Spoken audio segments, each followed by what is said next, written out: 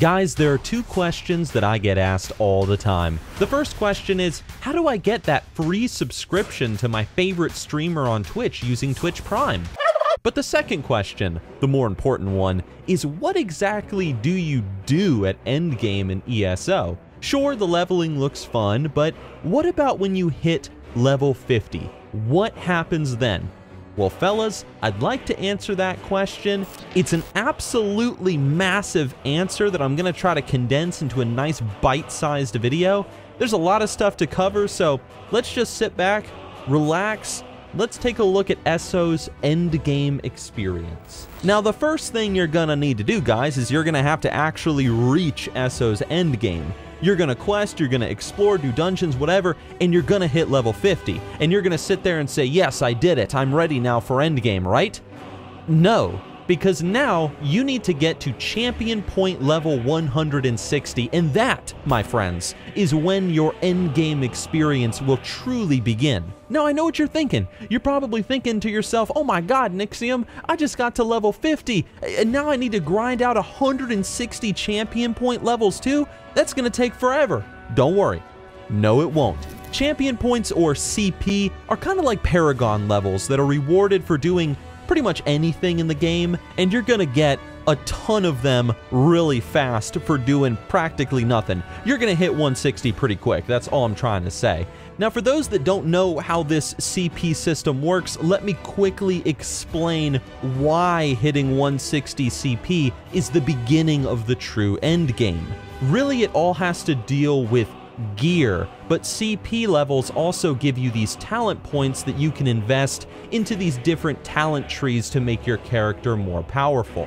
You'll swing harder, you can cast stronger spells, you'll have more health recovery, whatever.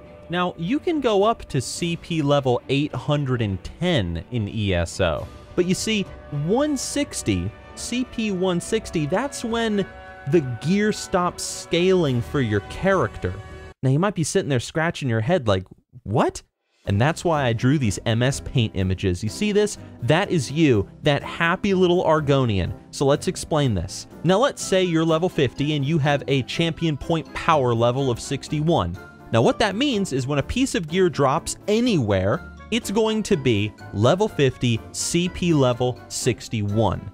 Now eventually though, you're going to get to level, let's say CP level 80, and a new piece of gear is going to drop, and it is going to be more powerful than that level 61 CP piece of gear. Does that make sense? And at 160, that's when this stops. Even if you are CP level 165, for example, the gear that will be dropping will be CP 160. Although, even after 160, you will still continue to get those talent points that I mentioned that you can invest to make your character stronger. Okay, so now you're ready. You hit level 50. You just hit 160 champion point level and that CP 160 gear is dropping for you. The highest of the highest. The best of the best. You are ready to go, boy. It's time for endgame, but what do you do? What do you do now, Nixxiom? What do you do? Well, you decide, really.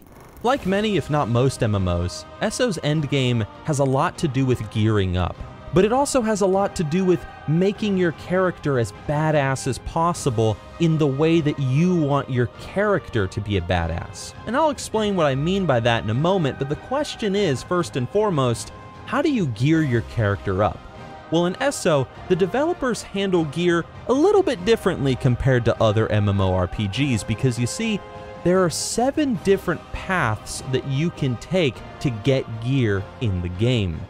The first path is through the open world. At endgame, most likely, you'll have barely explored 20% of the world, so there's still tons of quests to do, delves to explore. Those are single player dungeons for those that don't know. There are achievements to get, treasures to find, and so on. So go on, keep questing 100% each zone. And as you quest, and as you kill those outdoor world bosses, and you fight mobs, open treasure chests, whatever, you will find overland sets of gear to make your character even more powerful.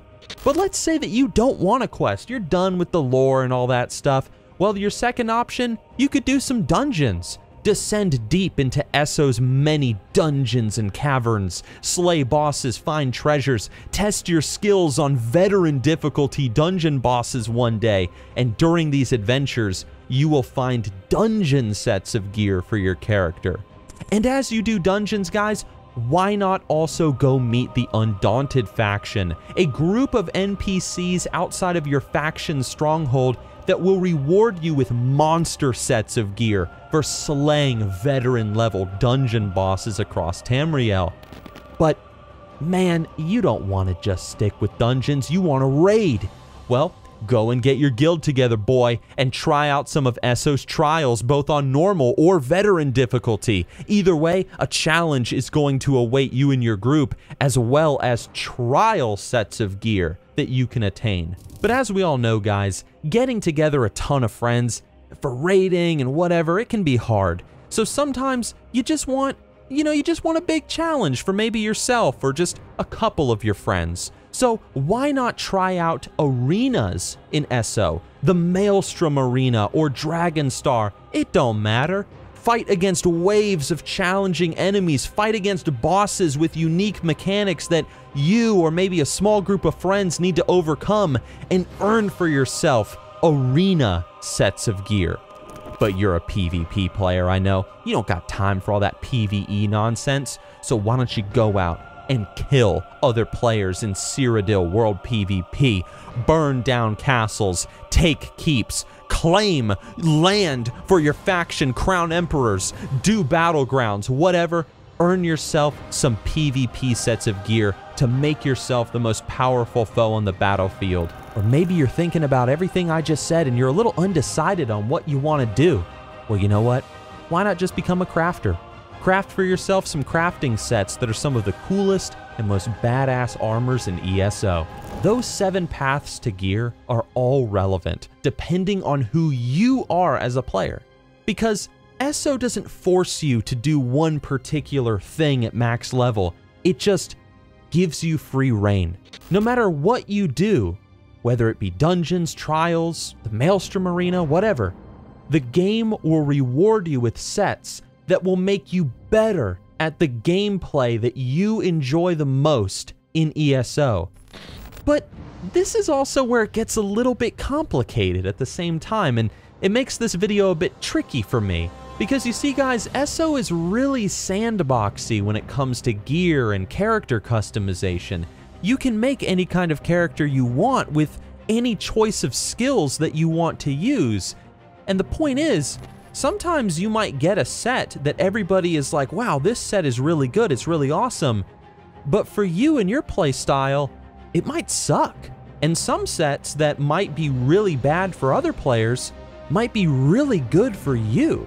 For example, you might use an overland set combined with maybe another kind of set from somewhere else in the game that plays off incredibly well with the abilities that you've selected for your character and you'll be a god in PvP. It really just depends on who you are as a character and what gear works well for you. And that's really what makes ESO so special to me because really, it makes the game so replayable and fun.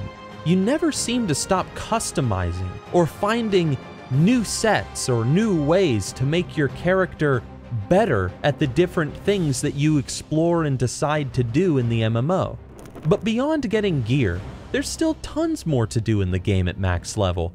As mentioned before, by the time you hit CP 160 at level 50, you probably won't have even explored 20% of the world. So go out, explore those new areas, indulge in new quests, learn more lore, read more in-game books and so on. Kind of like, yeah, you know, it's kind of like an RPG. You know what I mean? Hunt for achievements as you travel across Tamriel, gather sky shards to become even more powerful as a character by unlocking more skill points to use. Discover recipes for food, potions, poisons, and other things that can give you the edge in PvE or PvP. Or, if you're the settling sort of player, go out, explore the world, and bring back its treasures back to your player made house, fully decorated and designed by you. Guys, challenge yourself to dungeons, to Maelstrom arenas, to trials, to sieging castles in Cyrodiil, battlegrounds, crafting, or just steal from NPCs, murder them in their sleep, make the Dark Brotherhood proud of you, and then get killed by the local guard because you were stupid and walked into town with a bounty of a million gold on your head. Really? When people ask me the question of what do you do at endgame in ESO, the simple answer is whatever you want, really. Follow a guide if you want, sure, and that'll take you through the world and it'll show you some gear that you can find, but really what you should do is, at endgame, explore and find sets of gear and item combinations that complement your character's playstyle. Or let sets that you discover on your adventures change how you play your tune entirely. The game is so sandboxy and it's so unpredictable, and you'll never know what you're going to find around the next corner and how it's going to change you as a player. And I like that. Guys, I hope you enjoyed the video. I left out a ton of information from how crafting works to how does a Maelstrom Arena work to, oh my god, there's a ton of information to talk about. So forgive me for the bite-sized video, but this is just a quick overview of ESO's endgame.